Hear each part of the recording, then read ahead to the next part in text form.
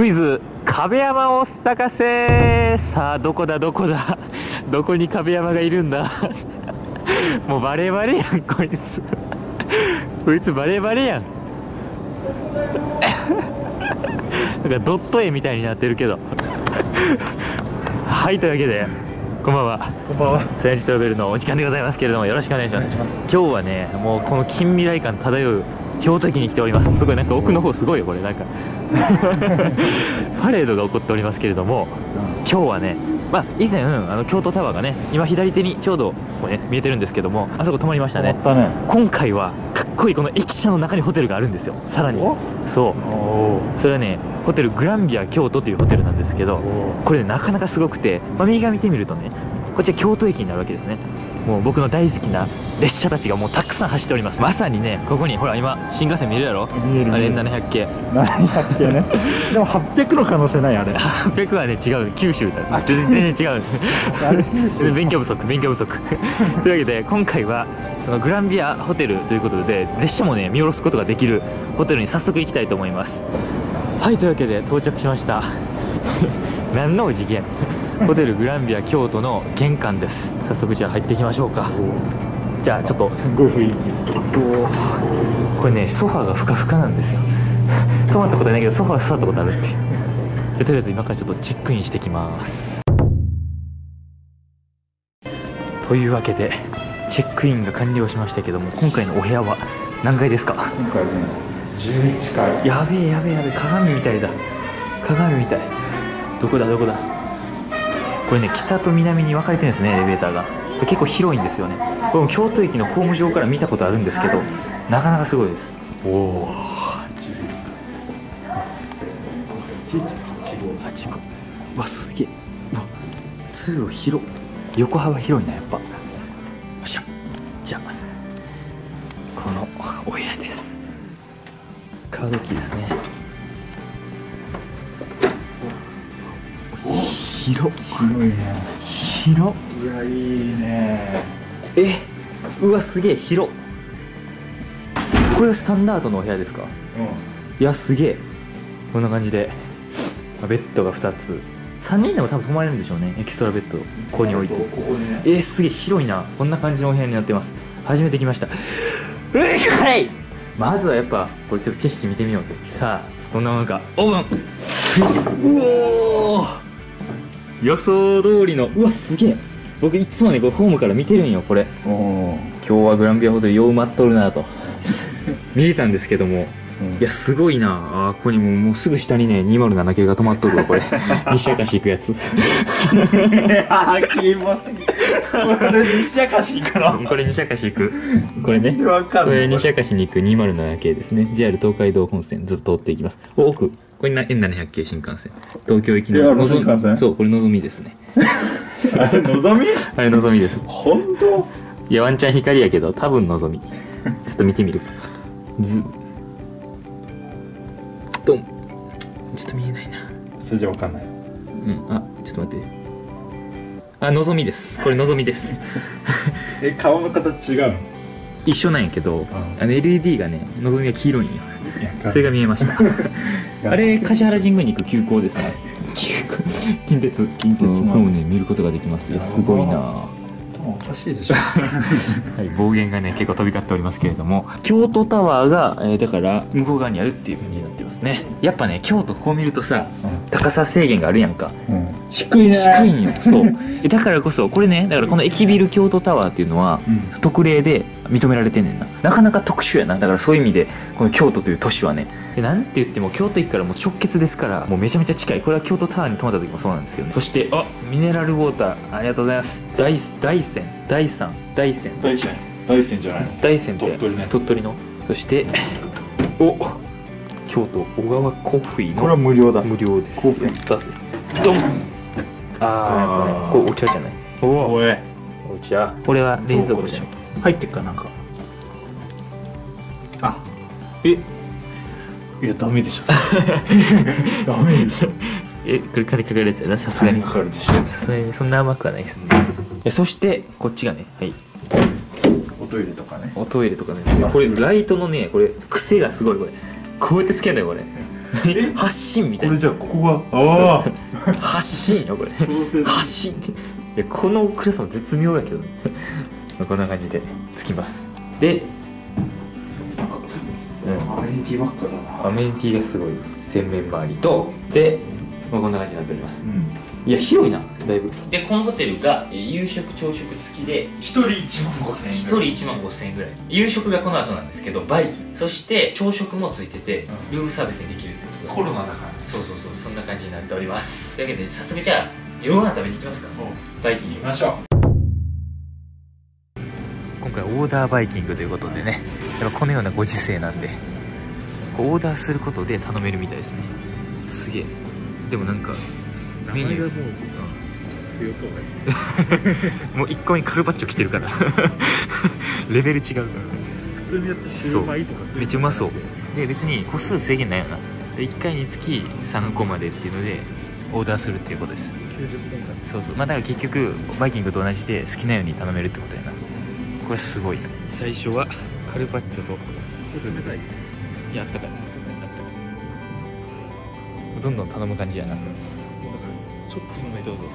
うまく食べて。ハンバー。グからおなかなかいいっすな。右が海鮮丼。イクラと鮭の。おおなるほど。でも楽しいな。初めてオーダーバイキング丼いいよじゃあどんどん運ばれてきますけどこれがねホタテの醤油焼き。でこれが帯広の豚丼。ローストビーフ。シューマイ。こんな感じでね豪華な料理が並びますそれ何？オクトパス。生きとる。口にちょっと何言ってるかわからない。次にね頼んだのこれカニです。えぐいな。海鮮もねこんな感じで出てきます。ちょっとデザートが運ばれてきましたけど、まあ、一応これも入れとこう。これデザートと味噌汁ということで。合うよね。甘いな。クリームブリュレ。いちごのやつとか北海道のなチーズケーキ。すごい北海道使ってるやつが多いな。おはぎとかジェラートこれ何ですかこれ？これはえ？メロンのジェラートああそしてこれが？これは違う血じゃないよ。いちごのめっちゃいい匂いしてくるから。クレープですね。いやすごい。これもねクリームブリュレなんやけどいちごなんやこれ。いちごのクリームブリュレ。僕これ頼みました。ちょっと食べてみて。いちごなんだ。どうやって食べるの？まあまあそうやって、まあ、ナイフ使ってもいいかも。ナイフナイフがない。オーナー。オーナー。どうぞ。じゃあいきます。はい。うわーうまそうだ。これつけてね。ソースつけてね。そうそう。べちゃんつけて。どうだ？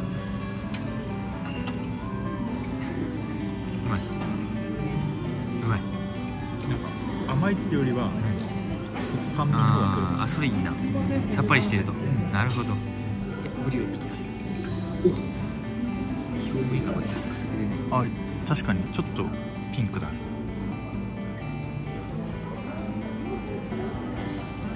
うまっ。キャラメルの部分の香ばしさ。いちごの甘み。美味しいな。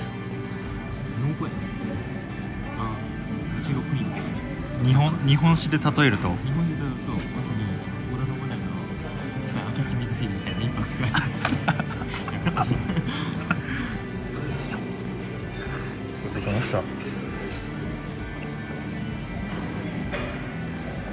はいというわけでご飯から帰ってきましてね。なかなか美味しかったんですが、えーその後お風呂に入りまして、えー時刻は あれおかしいな。なんか悪夢でも見てるんかな。ちょっと分かんない。読めないんですけど、えーこれから寝ようと思います。あと、えーもうちょっとしたらご飯がね朝ごはんが朝食美味しい朝食がルームサービスできますんで、ね、早速じゃあちょっとぐっすりと眠りたいと思います。じゃあ皆さんおやすみなさい。コケコッコいやいやまだまだまだまだ。じゃあ寝ます。はいというわけでどこ見てんどこ見てん？えー時刻は8時56分9時ということになっておりますけどはい。見てくださいよこの景色を。すごくね？うわーこれすごいでしょ。朝の京都を望むことができますよ。でそして朝食なんですけれども届いております。これすげえな。うわ。こっちが神山さんの頼んだ和食の方です和食。で後でじっくり見ますけど。はい。こっちが洋食ということでね。お届いております。ちょっと早速こっちを開けてみて。うわーちょっとちょっとうまそううまそう。やばいこの部屋の中で食えるのか。うまそう。これすごいな。もうそっちにすればよ。早速ちょっと移動させて食べますか。やりましょう。はいというわけでちょっとね、明るすぎるんでちょっとカーテン閉めましたけど。いやこれすごいな。これ食べれるのか。ちょっと嬉しいなじゃあちょっと和食から見ていきますか。まずはうん。鮭焼き鮭。鮭。こうん。でだし巻き。うわお？なんだこれ。なんか団子みたいな。あんかけみたいな感じです。ねそしてこれが湯葉かな。おおで、えーこれは、えーこんにゃく。多分。ちょっとわからんけど。ごまのごまこんにゃくみたいですよ。これはこれは汁味噌汁。味噌汁はねこれを入れてってあれだ。そして洋食なんですけど洋食もなかなかすごいですよ。まずクロワッサンね。あ。これ絶対うまいやつやんこれもう。サクサクなやつやん。クロワッサン。でそしてこれがジャム。バターですね。こんな使わん よ三三種これ。そういう思考になっちゃうっていうねどうしても。そしてこれがねオレンジジュースななんか謎の謎の構造物。これ冷やされてんじゃんああそんなことない。これピンみたいな。長っ。そんな長かったんだ。あこれ懐かしいなこれ。昔ヨーグルトにさ粉砂糖ついてたの知ってる？わあかる。これがヨーグルトですね。ラップが貼ってあります。間違えてなんかそのままいっちゃいそうですけどラップがちゃんと貼ってあります。でこれ。いやこれすごいよ。クランブルエッグオムレツとなんか何かから選べてんな、ん。で僕はオムレツを選びましたでベーコンも選べたんですけど僕はソーセージを選びました。いやこれ当たりでしょこのね僕ねわかる？ソーセージはソーセージでもうこのバジルみたいなのがちょっとあの混ざってるやつ好きなんですよ。ドイツっぽいね。そうそうそうそうですそうです。焼きソーセージみたいな感じのやつですね。ポテトもついていて。いやこれも食べ応えがありそうです。じゃあいただきます。いただきます。絶対うまいやつやねナイフフォークでね食べますうわ。いやこれ絶対うまいぞちょっとオムレツをじゃあね半分に割りまして。いやすいませんけどうお。あったかいうちに食べたいからねえ僕は寝てたんですけどコンコンって来たんですか？ピンポンってきました。あそうなんですか気づかなかったんです。か気づかなかったです。やべっすね。うん。うまっ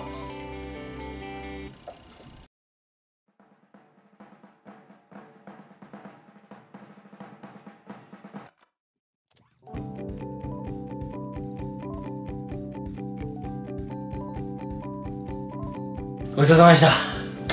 ごちそうさまでした。これで内線にね連絡すればこれをワゴンごと持って行っていただけるということではい。くそうまかったな。で部屋で優雅に。これねまだ今からちょっと聞いて驚く中って感じなんですけどチェックアウトまであと2時間あるんですよ。もうねこれはもう昼寝してね。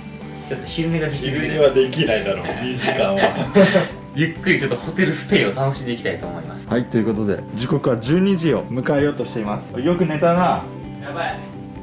だいぶ寝てたよ。あ電車見える。これならさ何系とかわかるかもしれないけどさ昨日の夜の段階だったら絶対わかんない。これでもまあ俺はわかんないけどい少し好きだったらわかるかもしれないけどあの夜の段階って絶対わかんないからね。申し訳ない。よしとりあえずじゃあ行きますか。はい。帰りますか帰ろう。ジャンプ。してよいしょ。ということで 釣っとるやん。えというわけでホテルグランビア京都チェックアウト完了しましてマジで結局昨日の何時 ?6 時ぐらいからチェックイン。うん。ああそれぐらい。から12時までもうね存分に楽しみましたね。これがグランビアです。いやすごいですよね。